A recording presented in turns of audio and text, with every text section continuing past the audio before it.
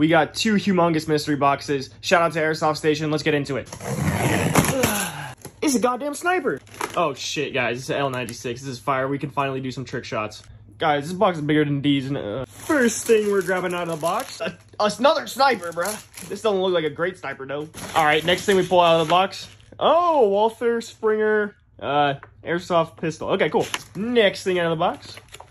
Ooh, blowback full auto. What? Electric. Oh, I'm gonna see. I, I would love to see this. What's the next thing out of the magic box? Oh, uh, we got a Walther PPQ. PPK. Oh, I'm sorry. I'm sorry. I'm so sorry. This thing we have here. Oh, a Heckler and Koch electric MP5K. That. Okay, last thing in the box. Oh shoot, I have one of these. It's a uh, MPX, and oh, but it comes with a little pistol as well, a Sig One. Very cool. So that was the whole mystery box. Hope you guys enjoyed. Leave a like, subscribe, please.